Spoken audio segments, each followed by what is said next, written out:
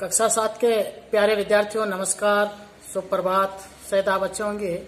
देखिए अपना जो पाठ चल रहा था उस पाठ के अंदर हम बात कर रहे थे निबंध लेखन की।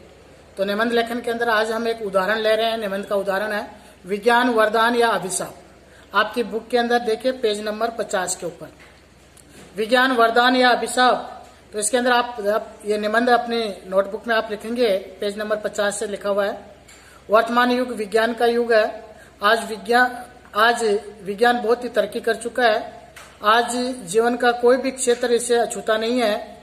विज्ञान के विभिन्न आविष्कारों ने मानव जीवन को अत्यंत सरल बना दिया है।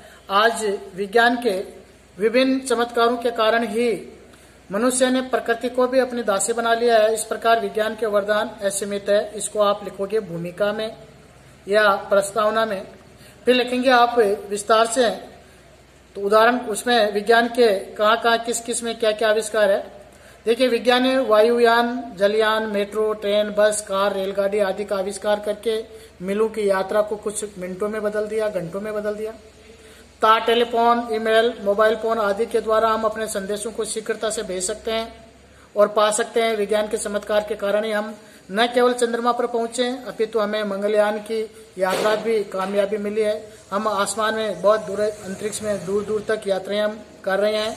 बहुत सारे यान आज सफलता के साथ अंतरिक्ष के अलग अलग ग्रहों पर, उपग्रहों पर जा रहे हैं।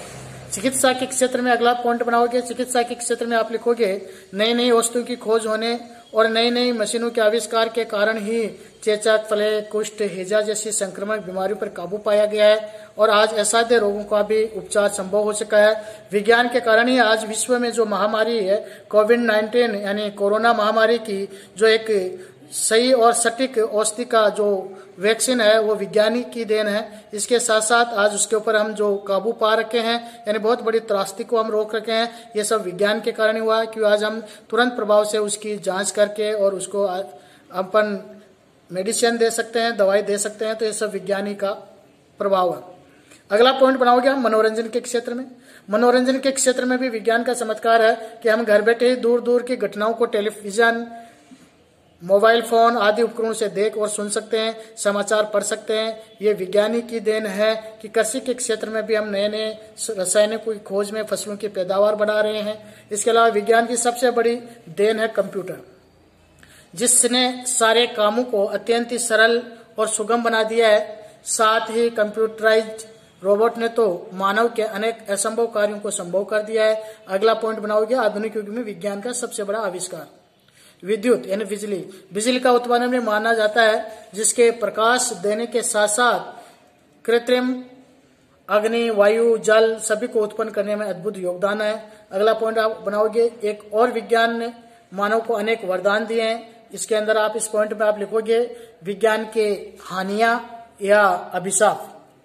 विज्ञान के अभिशाप में आप लिखोगे, एक और विज्ञान ने मानव को अनेक वरदान दिए हैं। वहीं दूसरी ओर फाइटर विमान अणुबम जैसे आविष्कारों से संपूर्ण मानव जाति का जीवन संकट में।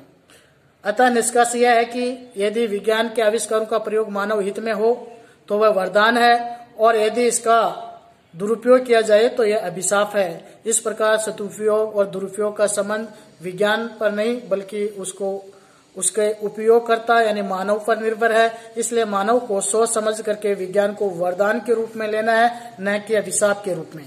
तो ये तो था आपका निबंध, विज्ञान, वरदान या अभिशाप। उसके साथ साथ आपकी जो एक्सरसाइज के लिए पेज नंबर इक्यावन पर है, आओ करें।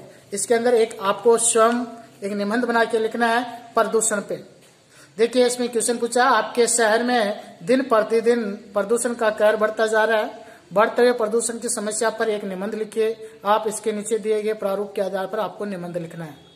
भूमिका में किसी शुक्ति के साथ आप इसका प्रयोग करेंगे कि जिस तरह से साफ़ स्वच्छ पर्यावरण, मानव का जीवन तंदुरुस्त, विषय का फिर विस्तार पॉइंट बना के करेंगे और उपसार या अंत में विषय का अंत निष्कर्ष के साथ, एक स्लोगन के साथ करेंगे। आज का आपका यह होमवर्क होगा। आओ करें ग्यारह। पर्यावरण प्रदूषण पर निबंध। प्रदूषण की समस्या के बारे में आपको एक निबंध लिखना है। और ये जो विज्ञान वरदान या अभिशाप वाला है, ये अपने बुक में से आपको पेज नंबर पचास से इसको कॉपीराइट करना है वैसे के वैसे उतारना है। आज का इतना ही। अगले वीडियो में हम नया पाठ लेंगे, पाठ चार, कविता। जो अगला वीडियो आपका होगा, सूरज का अपहरण, यानी पाठ चार।